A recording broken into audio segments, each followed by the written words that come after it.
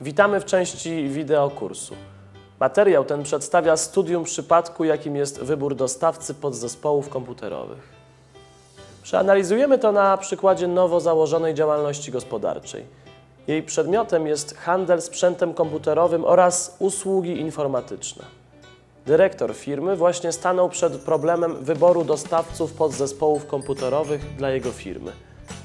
Jakiego rodzaju powinny być to przedsiębiorstwa i jak je wybrać? Z czym może wiązać się taka współpraca? Dla małego przedsiębiorstwa tego typu, szczególnie w początkowym okresie działalności, jest to problem dosyć złożony. Jeżeli firma działa w dużym mieście, łatwo będzie znaleźć dystrybutora hurtowego lub subdystrybutora. W innym przypadku dochodzi jeszcze warunek szybkich dostaw kurierskich i innych obciążeń dotyczących zamówień zdalnych. Wybierając partnera biznesowego jako dostawcę sprzętu, należy pamiętać o następujących aspektach. Gama towarowa oferty dostawcy.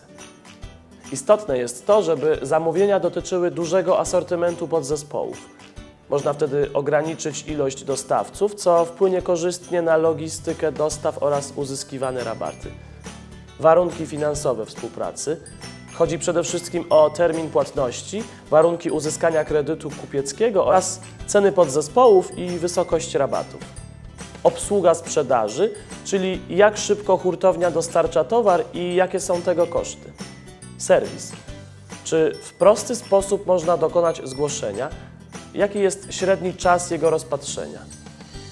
Inne czynniki, takie jak dodatkowe opłaty za zakupy poniżej określonej kwoty lub posiadanie przez partnera systemu obsługi partnerów online.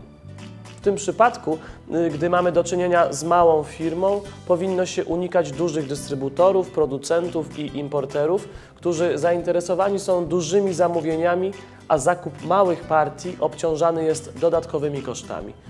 Tak samo zminimalizować należy współpracę z małymi hurtowniami ze względu na wyższe ceny i możliwe długie serwisowanie. Można do nich się zgłosić wtedy, kiedy szybko potrzebujemy jakiegoś podzespołu niedostępnego u naszego głównego dostawcy. Ponieważ na początku działalności bardzo istotna jest cena podzespołów, należy porównywać ceny u różnych dostawców i wybrać najkorzystniejszą ofertę.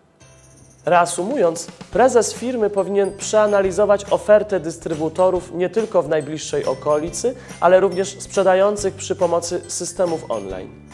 Musi zweryfikować ich rzetelność i warunki współpracy oraz porównać oferowane ceny i rabaty oraz koszty współpracy. Powinien dowiedzieć się, na jaki kredyt kupiecki może liczyć oraz jakie warunki dostawy oferują. Po tych czynnościach warto podpisać umowę współpracy z dwoma, trzema dystrybutorami o najlepszej ofercie oraz z jednym mniejszym subdystrybutorem z najbliższej okolicy. W miarę rozwoju firmy lista dostawców powinno się weryfikować.